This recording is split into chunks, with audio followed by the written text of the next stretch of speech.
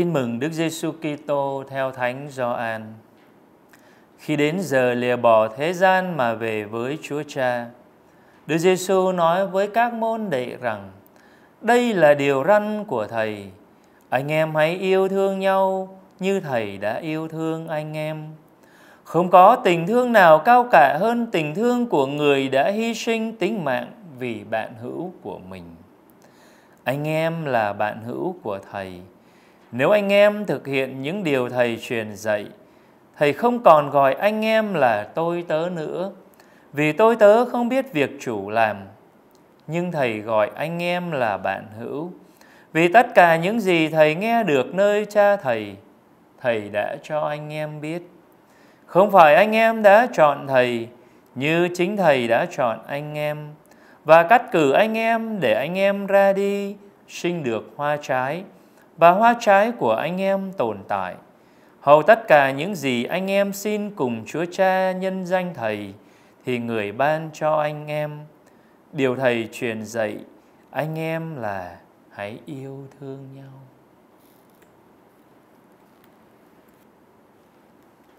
Sau khi Chúa Giêsu mời gọi các tông đồ, hãy ở lại trong tình yêu của Thầy qua việc tuân giữ điều răn của Thầy. Có vẻ dường như các ông vẫn còn mơ hồ về điều răn mà các ông phải thực hiện. Đoạn tin mừng hôm nay Chúa chỉ rõ cho các ông ở lại trong tình yêu của Thầy. Ở lại trong tình yêu của Thầy bằng cách yêu thương nhau như chính Chúa yêu thương anh em. Quý ông bà và anh chị em thân mến, Tình yêu mà Đức Giêsu Kitô lãnh nhận từ cha của người giờ đây người cũng trao lại cho các môn đệ. Người đã lãnh nhận từ cha người thế nào, chắc chắn người cũng muốn trao cho các ông thế đó trước khi người rời xa họ. Đây có thể là tâm sự cuối cùng của Chúa dành cho các ông. Và theo lẽ bình thường của ngôn ngữ tình yêu thì khi tôi yêu ai đó, tôi cũng muốn người tôi yêu phải yêu tôi như vậy.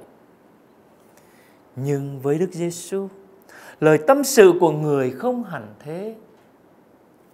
Người không muốn các môn đệ của người phải yêu Chúa như chính người đã yêu.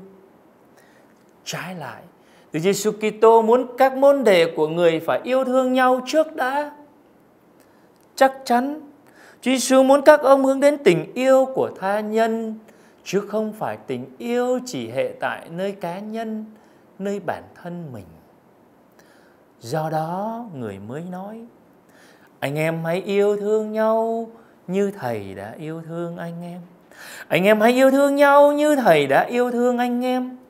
Mối tình mà Chúa Giêsu ngỏ lời với các ông đó là mối tình của người bạn hữu chỉ khi chúng ta xem anh em của mình là bạn hữu, thì tình yêu mà chúng ta trao ban sẽ được người bạn hữu nhận một cách chân thành cũng giống như mối tình giữa Chúa Giêsu và Chúa Cha. Người ở trong Cha và Cha ở trong người. Người luôn thi hành ý muốn của Chúa Cha. Người luôn luôn hiện diện cùng với Chúa Cha và vì thế nơi Đức Giêsu Kitô, mối tình giữa Chúa Cha và môn đệ phải ở trong tình yêu của Chúa. Sự kết hợp trong tình yêu giữa Chúa Giêsu và các môn đệ là sự liên đới. Là sự liên đới giữa niềm tin, là sự liên đới như những người bạn. Chính vì thế, để thực hiện được mối tình bạn trong điều răn của Chúa, thì chúng ta phải thi hành giới răn của người. Đó là trước hết hãy hy sinh tính mạng vì bạn hữu. Hãy hy sinh tính mạng vì bạn hữu của mình.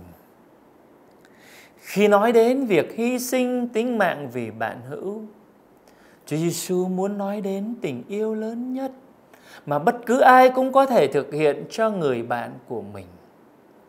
Chỉ khi chúng ta xem anh em của mình là những người bạn hữu một cách thực sự, thì khi đó chúng ta mới dám hiến thân mình cho điều đó. Như lời Thánh Phaolô gửi cho cộng đoàn Roma, chương 5 câu 8 Ngài nói, Thế mà Đức Kitô đã chết vì chúng ta ngay cả khi chúng ta còn là những người tội lỗi đó là bằng chứng Thiên Chúa yêu thương chúng ta.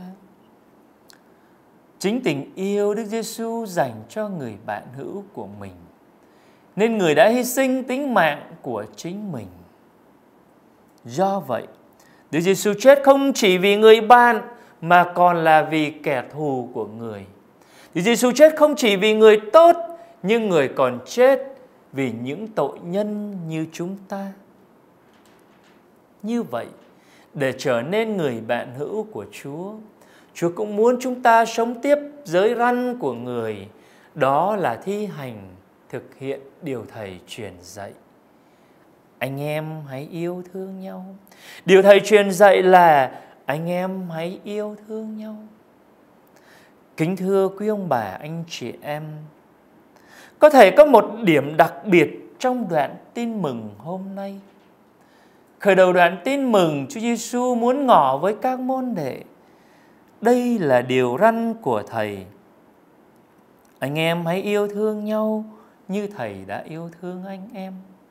Câu này nằm ở câu 12 trong đoạn tin mừng hôm nay. Và kết của bài tin mừng hôm nay trong câu 17 cũng là điều thầy truyền dạy là anh em hãy yêu thương nhau. Như thế phải có một sự liên đới giữa Đức Giêsu Kitô và các tông đồ của người bằng việc Đức Giêsu Kitô đến thế gian này chính là bày tỏ mối bận tâm lớn nhất của người với nhân loại. Anh em hãy yêu thương nhau.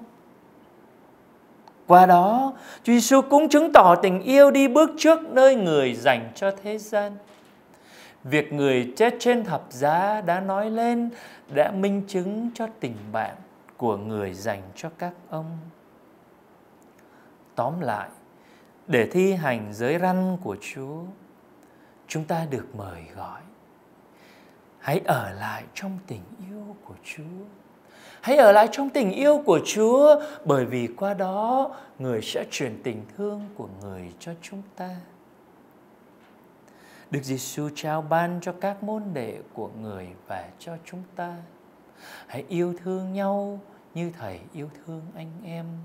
Chỉ có tình yêu thương dành cho bạn hữu mình là tình yêu dám hy sinh, dám chết cho người mình yêu.